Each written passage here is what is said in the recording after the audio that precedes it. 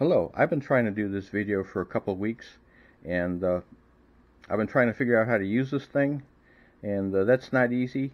The only instructions that you can download are taken from about four feet away and just barely shows you how to load in the software onto your phone and that's about it. And there's all kind of functions here that uh, you know you have to learn and if you're a maestro with your fingers this will be much easier for you.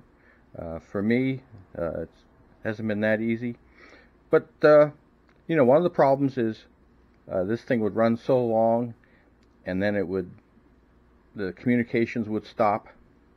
Uh, for a week, I wasn't even able to get this thing to turn on. And then I found out that I had to uh, uh, power down my phone completely and restart it because something in the software would lock up. Uh, and there's things about it that aren't really great. But, you know, uh, the scale goes from 0 to 60 amps and it's supposed to be a 100 amp meter. Uh, you can do a double tap on this and it'll go to about two-thirds of the scale. And then uh, when you change this scale, it also changes this one. So, you know, you got 300, you got, you know, a lot of voltage here, a lot of current here. And if you're at the opposite sides, things don't work out too well. The blue is the current. The little green you see right here is the voltage. And this is the power. Power doesn't really have any scale. I've never run this thing long enough to see if it like readjusts. But, uh, you know, you, you can't really get too much of uh, useful information out of it. Nothing just stopped again. Okay, here we go. Uh, so this is what it looks like. Uh, you can use the two fingers here to uh, expand out any portion of the scale. And uh, you can use the, you know, the vertical fingers to uh, uh, look in at any one section. Uh, it starts out with being a, a, a, a three-digit, you know, number on the sides.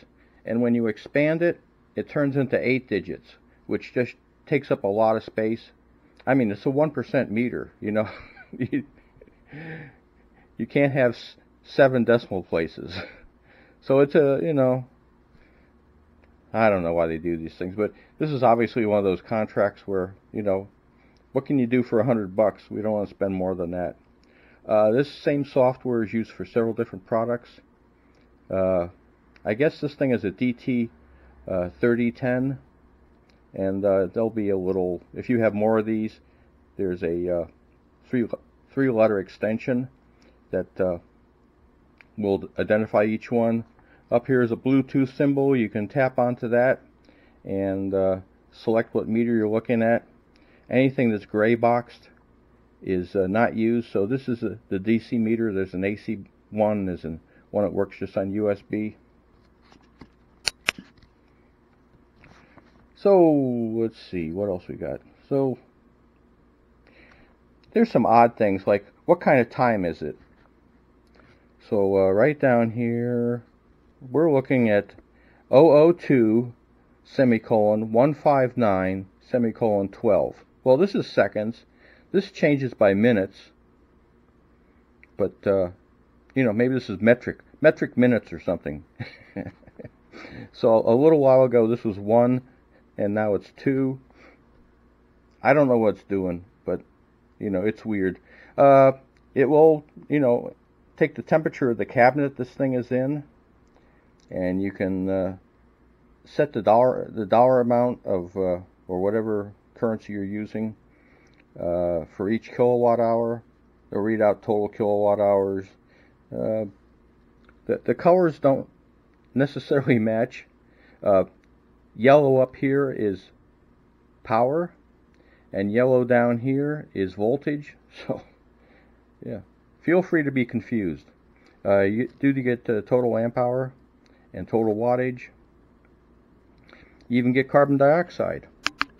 But uh, there are a lot of strange things about this. Uh, there's a setup button down here. And I have not been able to figure out what that does. Uh, every once in a while, Chinese characters will pop up, that seems to be associated with it start, starting to pick up Bluetooth.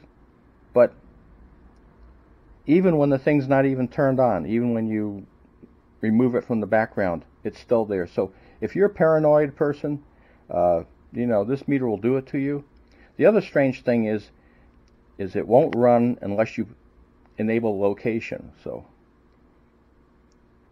they're spying on you. uh, you know, the software, like I say, will lock up.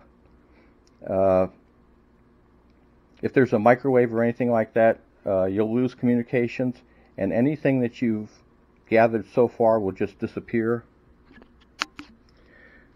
Uh, if you uh, turn on the microwave, it'll it'll reset it. The data, it, it, the meter doesn't collect any data.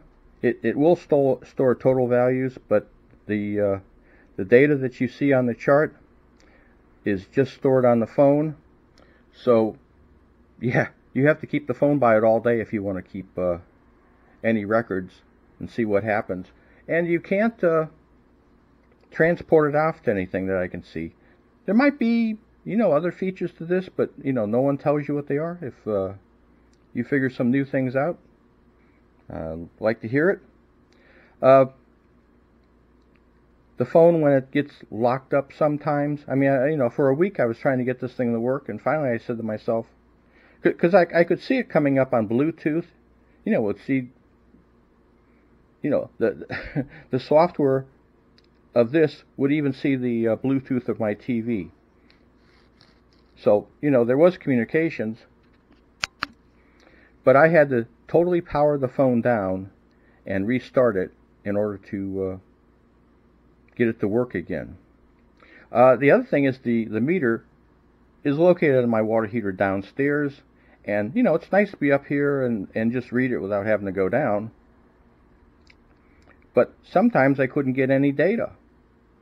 You know, it would show that it picked it up, and I'd go down there, and the meter midday would be reading zero amps, zero volts, and I'd have to remove power from the meter, not just press the reset button, but remove power from the meter and reconnect it in order to get it to start reading again. So uh, if you're powering this from a solar panel, uh, you may have uh, days where it's not storing any data at all. Uh, something to be aware of.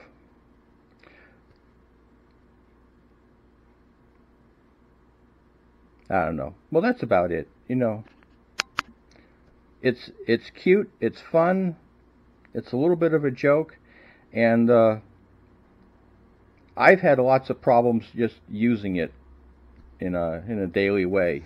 You know, anytime I really want to take data and look at something, somehow something screws up on it. So there'll be a certain frustration level with it, and uh, just be aware of that.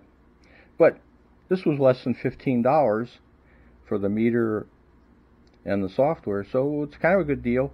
If you have an old phone, smartphone with Bluetooth, you know, this is a use for it. You know, leave that down down by your equipment and you can record the data all day and you know, it's it's a good educational thing, but uh, you will be frustrated and with a little more effort put into this, it could have been really something that was quite good. So, thanks for watching and uh, I'll report more